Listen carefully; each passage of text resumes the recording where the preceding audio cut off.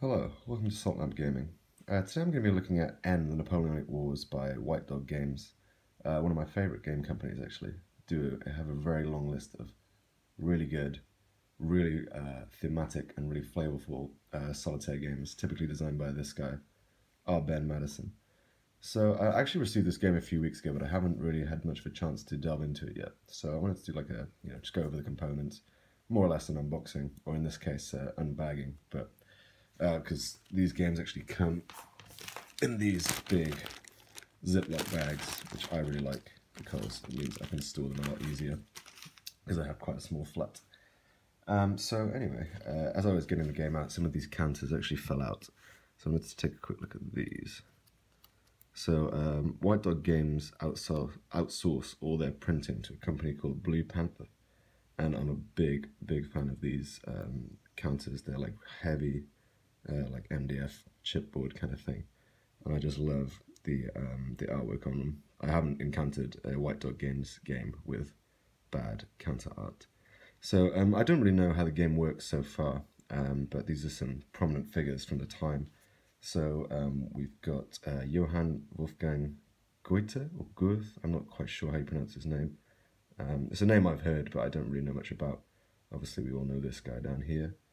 Um, we've got Alessandro Volta, who I believe was like a, um, a, a physicist, kind of you know, classic sort of Renaissance man, and then Francisco Goya, who is a, a painter. Um, I'm not really sure on how um, how these uh, figures come into the game, but it's really interesting to see figures like this in the game or in a game in general, especially a war game. Because um, what what I really like about White Dog games is they always blend kind of the political side of it, of the of the uh, event and the history with the with the conflict side, and they always just go that extra mile to give you that kind of um, historical immersion. Some other ones that fell out. Uh, this, I believe, is um, sorry, Napoleon's wife, Josephine and we've got Napoleon here. Very handsome, handsome man at various points in his life. Again, I'm interested to see how the game works and where these pieces come into play. Um, my dad is a very, very big uh, Napoleon fan. Uh, maybe not fan, but he, he admires him a great deal, and he's, he's uh, very um, very interested in the time period, uh, the aesthetics of the period, and just kind of that way of life. Um, so I kind of got this game to um, to do some digging of my own into this period in history because I, you know, I know secondhand some stuff from him, but I thought it'd be nice to um, to do some some of my own research. And uh, I'm not saying I'm just going to use this game for the research, but I find White Dog games are always a really good way to um, to delve into a subject that you have interest in. So the cover, I guess you know, this you can get this in a boxed format, and this is what the box cover would look like. Really, really nice artwork there. Quite classy, I will say. And the back of the box. I won't go into that too much. So, rulebook. Um, I always find these rulebooks are really well written, really nicely laid out. Um, you know, you've got a very clear sequence of play here. Um, usually these games are very um, procedural, I guess the word would be, but they're never dry. like I say, you've got stuff like diplomacy, coalition phase, gentleman phase, abdication phase. No idea what these are yet, but I'm very excited to delve in. And what amazes me is how they deliver these quite in-depth games in a very short, short rulebook. Got nice quotes here. Just give you that nice extra layer of immersion. Um, so yeah, this rulebook is only 12 pages, which is really nice. So hopefully it shouldn't take too long to learn the game. And as someone who's played quite a few White Dog games, there are some similarities between them. So I think I could potentially pick this up quite quickly and quite easily. So we've got the map here, game board, and that. Personally, I really like this. I think it's really nice. It gives a flavour for the era. You've got these these paintings here, old-fashioned map of Europe in the background. Um, all these all these overseas territories, Senegal, Cape of Good Hope, Portugal. I'd say it's overseas territory, but you know what I mean. Malta, Corfu, Serbia, Balkans, Caucasus. Looks awesome. Really like this map. Got some paintings of some of battles. Um, I'm going to be very interested to see how this all ties together and how this works. It looks awesome. Um, kind of point to point style, different boxes as opposed to like an actual geographical map. Um, they, I, I, like these small format maps as well. It's nice, don't take up much space. But they typically come with something like this, which will be your sort of turn sequence, and there'll be different events that happen uh, throughout the game, which um, you know typically tend to be period accurate. Uh, again, I'm not too sure. Um, battle results table. This is where you'll keep um, your forces. Oh, sorry, light infantry table, battle result table. Interesting.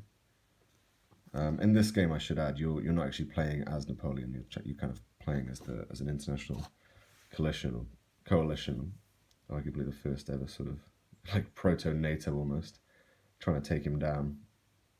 Uh, I believe anyway.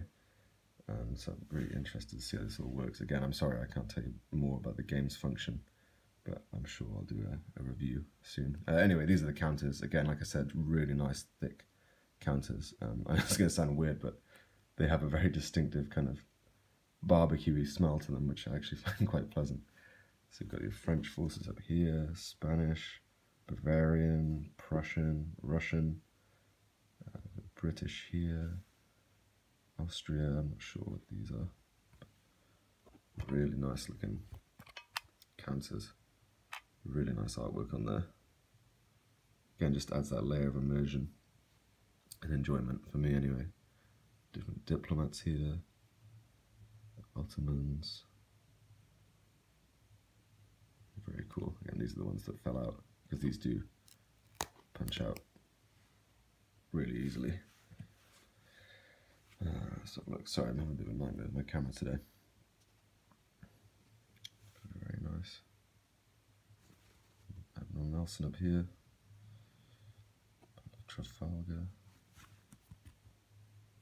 Not quite sure what these uh, these letters signify.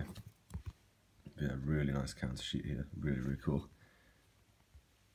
Come to expect that from White Dog Games. I'm actually planning on doing a series on White Dog Games some of my favourite things that they've released. And uh, they've got some stuff coming up this year, which I'm really excited for. So yeah, the counters, map sheets, turn sequence, things like that.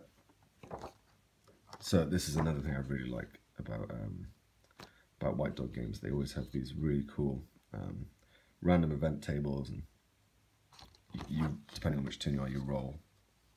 And whatever you come up with, you kind of it'll correspond to something you'll look up in the rule book. And this is a really nice way to actually inform you of the history and give you like a, a good um, jumping off point to start researching. Um, so again, I know I keep saying it, but I'm just really excited to delve into this. This is the sequence of play, which looks quite intimidating. Big long list. So all of this is what you'll be doing in a single turn, basically. And I, I remember when I first picked up a White Dog Games game, and I thought it was going to take days, but it does roll by really quick. In my experience, anyway, I'm not too sure about this one, but I wouldn't think it'd be too dissimilar. I'd imagine one a game would probably take somewhere between like maybe three and four hours to play, which is you know no uh, no mean feat. And got a scenario book here. So, oh, I see. So you could you can do the whole campaign if you wanted to, but I think you could also just do some shorter campaigns if you didn't have much time. It would be a good way to learn the game, actually doing a shorter campaign. And this is where it's listed all the um, all the uh, the random events as well. I think was this something else? I'm not too sure. It might just be like a, a keywords list. Then we've got some designers notes here. Um, I will say, uh, R. Ben Madison has caught some flack in the past from being quite um, quite an outspoken guy, actually. Um, sometimes I agree with him, sometimes I massively disagree with him. But either way, I am not for censorship, and I think he's actually had a pretty rough go of it on a lot of forums recently. So I don't know the guy. Like I said, he's pretty outspoken. Think he's quite religious, but he's a damn good designer, and he always has something interesting to say. So I'm gonna read that over a coffee later and see what we can find out. And then this is just um, this comes with a lot of their games now. Basically, this is where you put all the counters. Uh, oh, that's what the letter.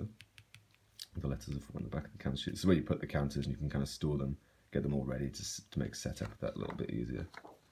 So yeah, that is N, the Napoleonic Wars by White Dog Games, designed by R. Ben Madison. Oh, and the game art's done by Jonathan Carnell, I believe is how you pronounce that.